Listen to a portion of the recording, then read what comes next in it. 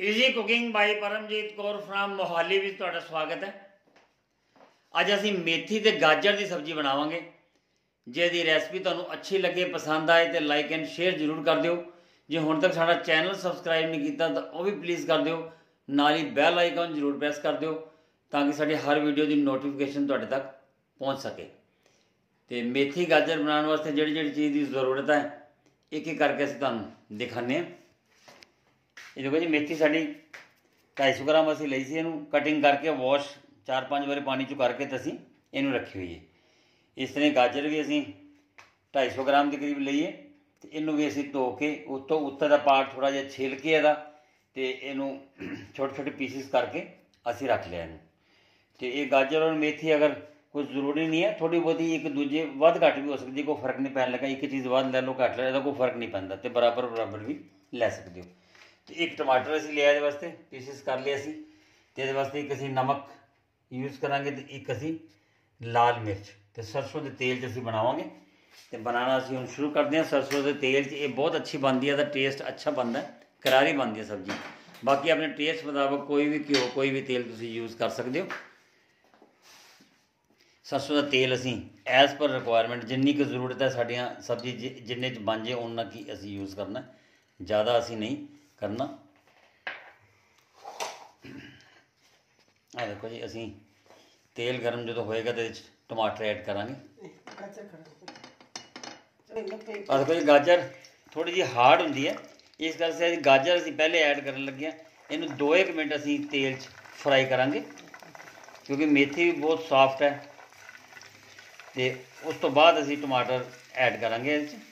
ਪਹਿਲੇ ਅਸੀਂ ਇਹਨੂੰ 2-3 ਮਿੰਟ ਇਹਨੂੰ ਫਰਾਈ ਕਰਾਂਗੇ। ਤਾਂ ਕਿ ਥੋੜੀ ਜੀ ਇਹ ਗਲ ਜਾਏਗੀ।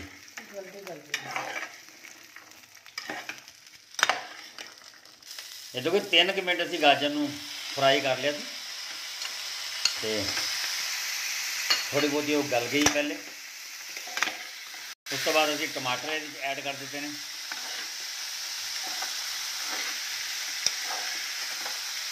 ਟਮਾਟਰਾਂ ਦੇ ਨਾਲ ਵੀ ਇਹਨੂੰ ਅਸੀਂ ਇੱਕ ਅੱਧਾ ਮਿੰਟ, ਇੱਕ ਮਿੰਟ ਅਸੀਂ ਫੇਰ ਇਹਨੂੰ ਫਰਾਈ ਕਰਾਂਗੇ।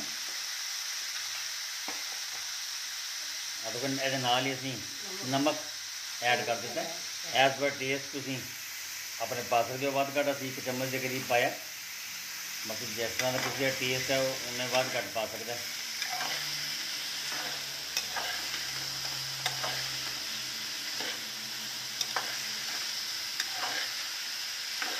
ਅਦਰਵੇ 3 ਮਿੰਟ ਅਸੀਂ ਪਹਿਲੇ ਗਾਜਰ ਨੂੰ ਫਰਾਈ ਕੀਤਾ ਸੀ ਉਸ ਤੋਂ ਬਾਅਦ ਟਮਾਟਰ ਪਾਉਣ ਤੋਂ ਬਾਅਦ 1 ਮਿੰਟ ਫੇਰ ਫਰਾਈ ਕੀਤਾ ਇਹ ਹੈ ਵੀ ਗਾਜਰ ਵੀ ਥੋੜੀ ਮਿੱਠੀ ਹੁੰਦੀ ਹੈ ਤੇ ਹੁਣ ਮੇਥੀ ਅਸੀਂ ਐਡ ਕਰਨ ਲੱਗੇ ਹਾਂ ਜੀ।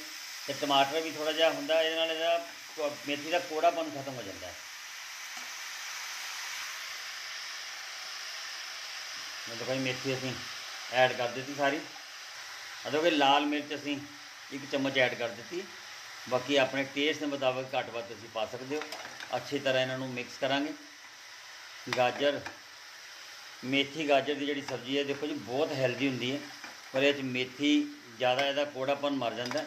ਬੱਚੇ ਵੀ ਇਹਨੂੰ ਬਹੁਤ ਪਸੰਦ ਕਰਦੇ ਹੈ, ਕਿਉਂਕਿ ਮੇਥੀ ਕੋੜੀ ਨਹੀਂ ਲੱਗਦੀ ਔਰ ਇਹਦੇ ਚ ਬਹੁਤ ਘੱਟ ਤੋਂ ਘੱਟ ਮਸਾਲੇ ਪਾਏ ਗਏ ਨੇ, ਸਿਰਫ ਨਮਕ ਮਿਰਚੀ ਪਾਇਆ ਇਸ ਕਰਕੇ ਇਹ ਭਾਰੀ ਵੀ ਨਹੀਂ ਬਣੀ ਔਰ ਬਣਾਉਣਾ ਵੀ ਇਹਨੂੰ ਆਸਾਨ ਹੈ, ਔਰ ਇੱਕ ਹੈਲਦੀ ਬਹੁਤ ਹੁੰਦੀ ਹੈ।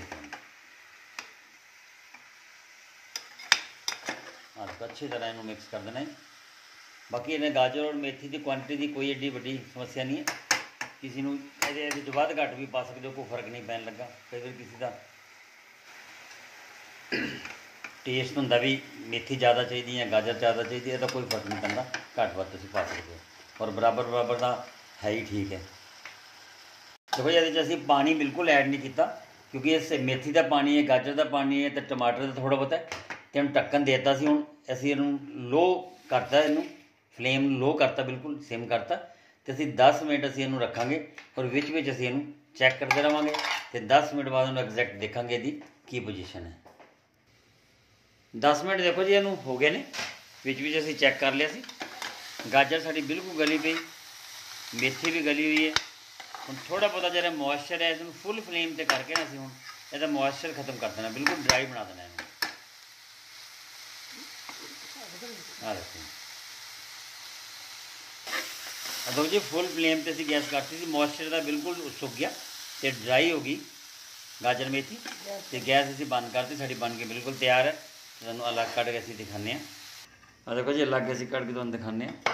ਬਹੁਤ ਵਧੀਆ ਸਬਜ਼ੀ ਇਹ ਬਣੀ ਹੈ। ਬਹੁਤ ਲਾਈਟ ਐਂਡ ਹੈਲਦੀ ਸਬਜ਼ੀ ਹੈ। ਗਾਜਰ ਮੇਥੀ ਦੀ ਸਬਜ਼ੀ ਬਣ ਕੇ ਸਾਡੀ ਬਿਲਕੁਲ ਤਿਆਰ ਹੈ। ਉਮੀਦ ਕਰਦੇ ਹਾਂ ਤੁਹਾਨੂੰ ਪਸੰਦ ਆਏਗੀ। ਇੱਕ ਵਾਰੀ ਬਣਾ ਕੇ ਦੇਖੋ ਔਰ ਕਮੈਂਟ ਬਾਕਸ ਆਪਣੇ ਕਮੈਂਟਸ ਜ਼ਰੂਰ ਦਿਓ ਕਿ ਤੁਹਾਨੂੰ ਕੈਸੀ ਲੱਗੀ। Thank you very much